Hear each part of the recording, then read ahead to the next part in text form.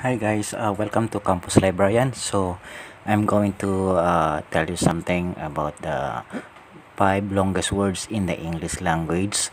So uh, this is an additional knowledge uh, as a campus librarian. First of all, uh, the top one longest uh, longest words in the English language is the pneumono ultramicroscopic silicovolcanoconiosis. It has 45 letters.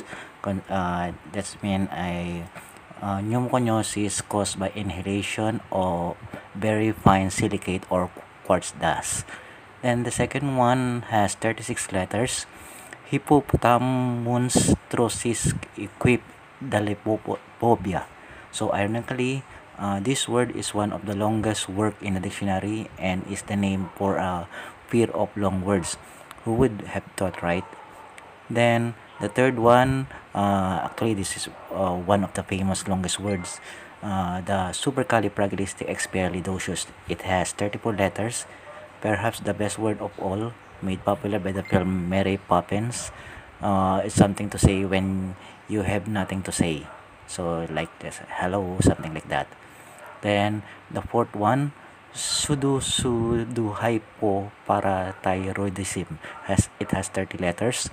A relatively mild form of uh, uh, thyroidism that is characterized by normal levels of calcium and phosphorus in the blood.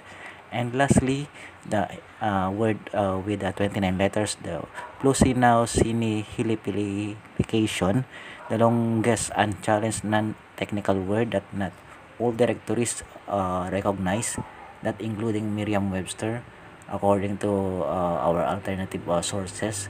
Uh, this word is the act of or habit of describing or regarding something as unimportant, uh, of having no value or being worthless. Oftentimes, it is used in a numerous way.